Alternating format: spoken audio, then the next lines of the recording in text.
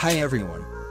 In this video, I will show you how you can move files between internal storage and the SD card on a Samsung Galaxy A13. If you need to move files whether it is an image music file such as an MP3 or audio files video files, here's how you can do it. First, go into the Samsung folder. And then tap on My Files in here. Go to the folder where you want to copy the files.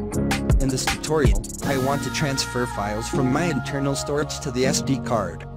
So I'll go to internal storage, and then go to the folder where it has the files.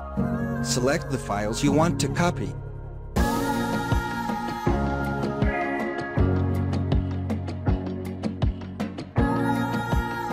Then down here, you can tap on copy or move.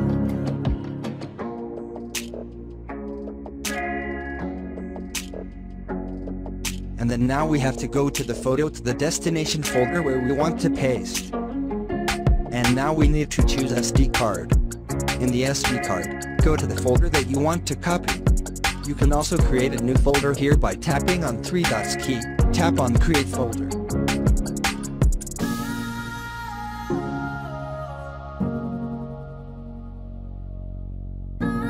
After that, I will tap on the copy button. And that's how to move files between internal storage and SD card on Samsung Galaxy A13.